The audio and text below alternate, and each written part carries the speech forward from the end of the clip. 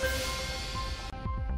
Для Хвостова просят 14 лет колонии строгого режима. 7 ноября в Ленинском районном суде прошли прения по делу бывшего вице-губернатора по строительству. Напомним, он обвиняется в четырех эпизодах получения взятки от застройщиков города Владимира. Страна обвинения просит назначить экс-чиновнику наказание в виде 14 лет колонии строгого режима плюс штраф в 60-кратном размере от суммы взяток, а это больше 1 миллиарда рублей. Слушания по делу продолжаются. Дмитрий Хвостов своей вины не признает и настаивает на том, что что весь процесс имеет политический характер. Пожар на дороге на Судогодском шоссе в районе поворота на Радужный сгорел мусоровоз. Большегруз МАЗ вспыхнул прямо во время движения. В автомобиле находился один водитель. Он успел покинуть машину. Возгорание на площади в 5 квадратных метров ликвидировали в 3 часа дня. Разгружали горящую «Газель». Еще один горящий автомобиль сегодня был замечен на парковке одного из торговых комплексов Владимира. Видео происшествия выложили в сеть. В это время рабочие как раз вели разгрузку машины. Возгорание началось в моторном отсеке из-за короткого замыкания. В итоге площадь пожара составила один квадратный метр. Потушить пламя рабочим удалось еще до приезда спасателей с помощью огнетушителя. Накануне жители сразу нескольких домов в центральном и восточном районах города остались без воды. Многие связывали ее отсутствие с аварией, которая произошла вечером 6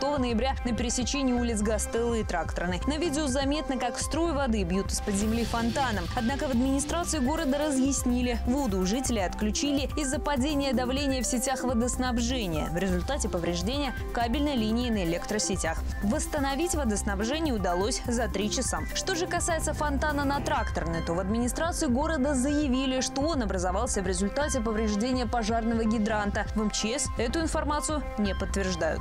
Задержали закладчика или потребителя. В результате оперативно-розыскных мероприятий сотрудники Владимирского линейного отдела МВД России на транспорте выявили факт незаконного оборота наркотиков наркотиков. В Камешковском районе около реки Клязьмы ими задержан 40-летний житель Владимира. При личном досмотре у него обнаружили и изъяли сверток из газетного листа и сверток из прозрачной полимерной пленки. В обоих находилось растительное вещество зеленого цвета. Экспертиза установила изъятое вещество не что иное, как марихуана весом чуть более 10 граммов. За незаконное приобретение, хранение, перевозку, изготовление и переработку подозреваемому грозит до трех лет тюрьмы.